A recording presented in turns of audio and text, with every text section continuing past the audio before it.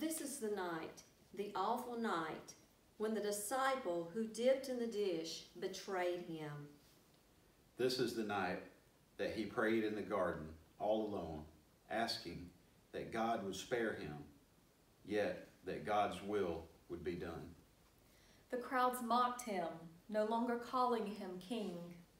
On the morn he stood before Pilate, who pronounced he should be crucified.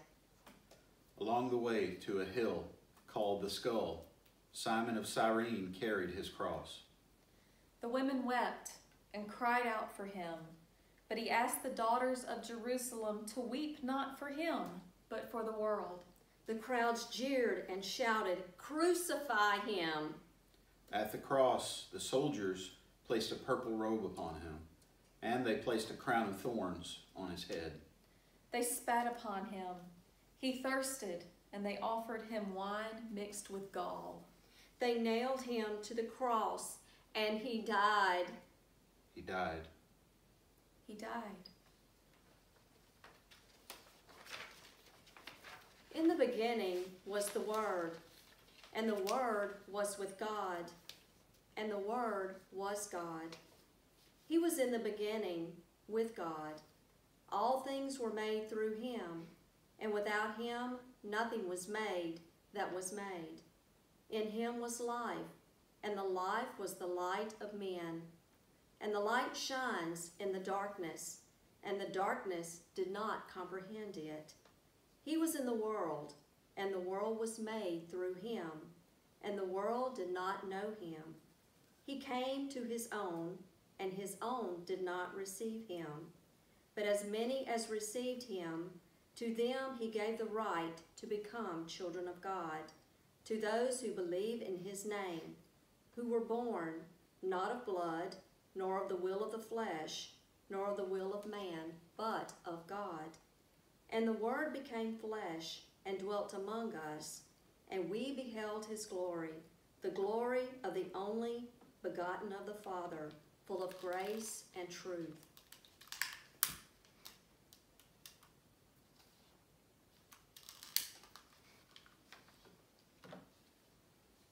When the evening had come, he sat down with the twelve.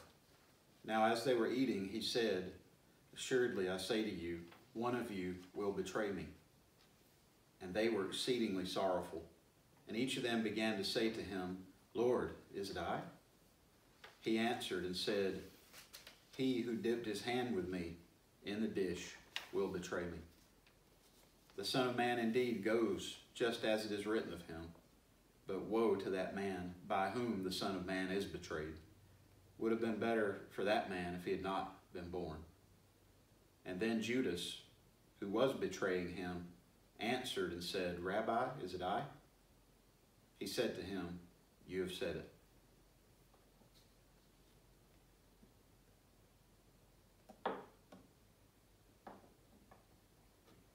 Then Jesus said to them, All of you will be made to stumble because of me this night, for it is written, I will strike the shepherd, and the sheep of the flock will be scattered. But after I have been raised, I will go before you to Galilee. Peter answered and said to him, Even if all are made to stumble because of you, I will never be made to stumble. Jesus said to him, Assuredly, I say to you that this night, before the rooster crows, you will deny me three times. Peter said to him, Even if I have to die with you, I will not deny you. And so said all of the disciples.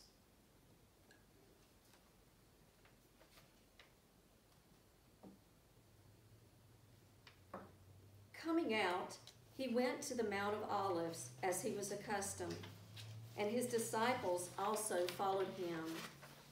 When he came to the place, he said to them, Pray that you may not enter into temptation. And he was withdrawn from them about a stone's throw. And he knelt down and prayed, saying, Father, if it is your will, take this cup away from me. Nevertheless, not my will, but yours be done. Then an angel appeared to him from heaven, strengthening him. And being in agony, he prayed more earnestly. Then his sweat became like great drops of blood falling down to the ground. When he rose up from prayer and had come to his disciples, he found them sleeping from sorrow. Then he said to them, Why do you sleep? Rise and pray, lest ye enter into temptation.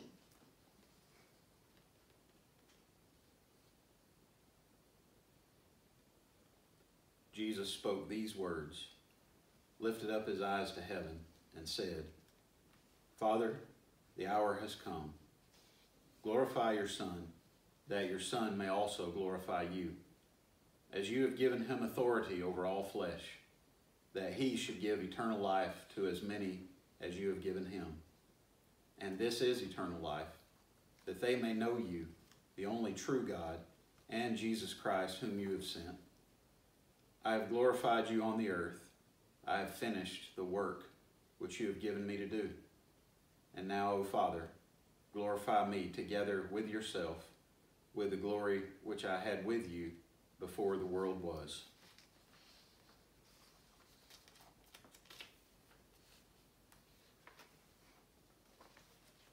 And while he was still speaking, behold, a multitude.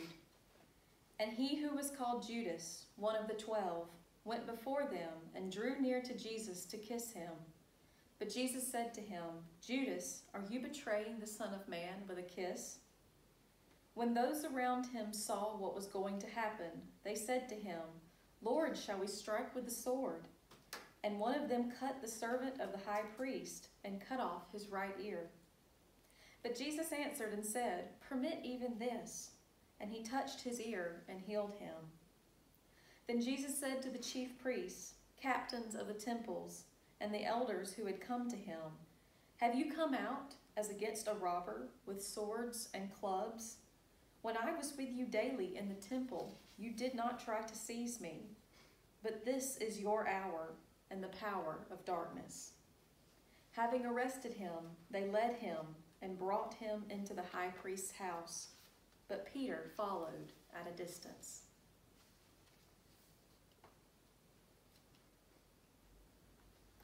Now, when they had kindled a fire in the midst of the courtyard and sat down together, Peter sat among, among them. And a certain servant girl, seeing him as he sat by the fire, looked intently at him and said, This man was also with him. But he denied him, saying, Woman, I do not know him. And after a little while, another saw him and said, You also are of them. But Peter said, Man, I am not.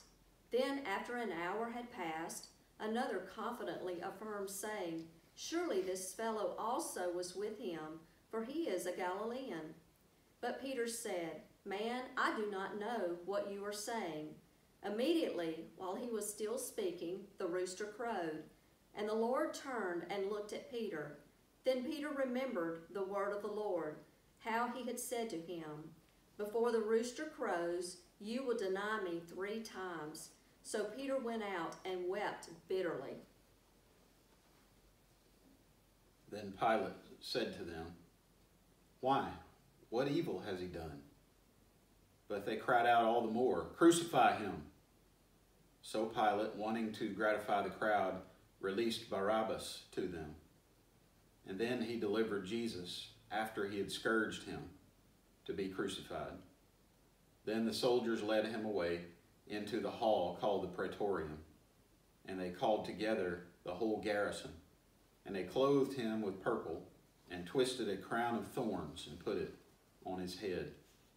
And they began to salute him, Hail, King of the Jews! And then they struck him on the head with a reed and spat on him. And bowing the knee, they worshipped him. And when they had mocked him, they took the purple off him, put his own clothes on him, and led him out to crucify him. Then they compelled a certain man, Simon the Cyrenian, as he was coming out of the country and passing by, to bear his cross.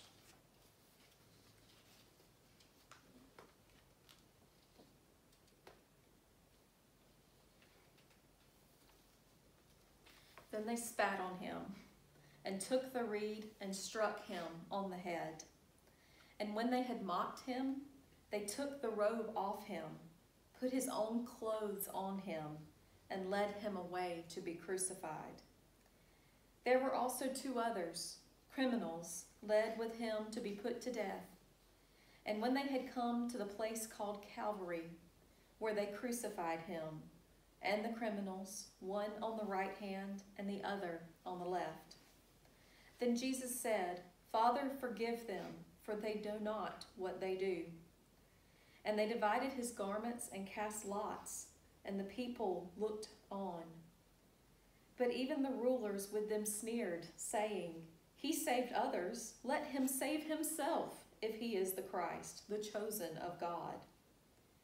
The soldiers also mocked him, coming and offering him sour wine, and saying, If you are the king of the Jews, save yourself. And an inscription also was written over him in letters of Greek, Latin, and Hebrew This is the King of the Jews. Then one of the criminals who were hanged blasphemed him, saying, If you are the Christ, save yourself and us. But the other answering rebuked him, saying, Do you not even fear God, seeing you are under the same condemnation? And we indeed justly, for we receive the due reward of our deeds. But this man has done nothing wrong. Then he said to Jesus, Lord, remember me when you come into your kingdom.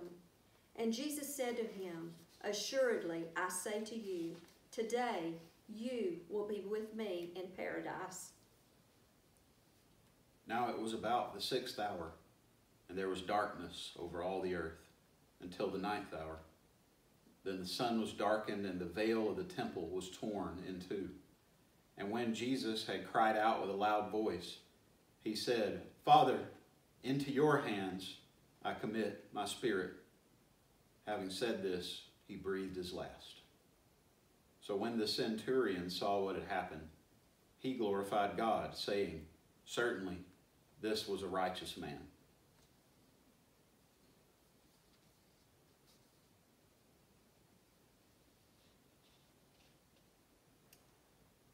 Now, when evening had come, there came a rich man from Arimathea, named Joseph, who himself had also become a disciple of Jesus. This man went to Pilate and asked for the body of Jesus. Then Pilate commanded the body to be given to him. When Joseph had taken the body, he wrapped it in a clean linen cloth and laid it in his new tomb, which he had hewn out of the rock. And he rolled a large stone against the door of the tomb and departed.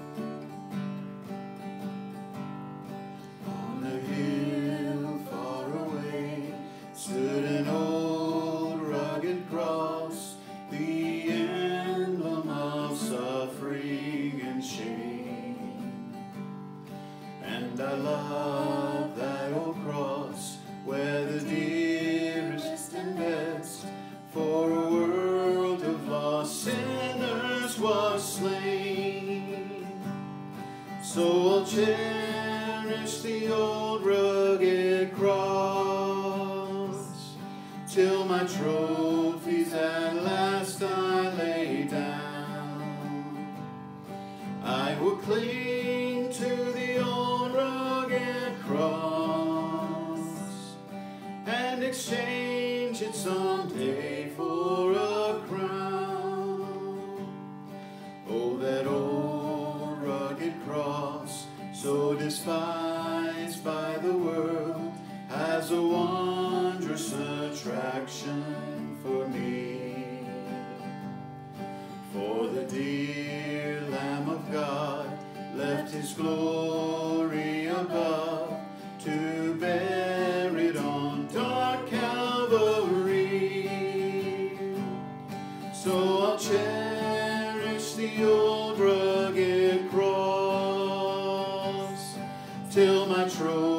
is at last I lay down.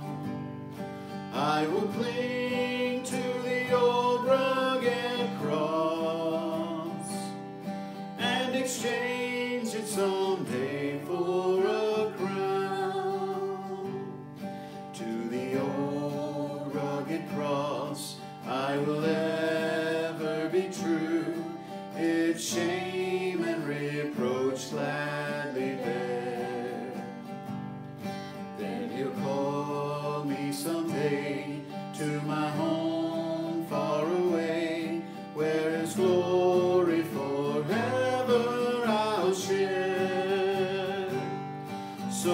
cherish the old rugged cross till my throne.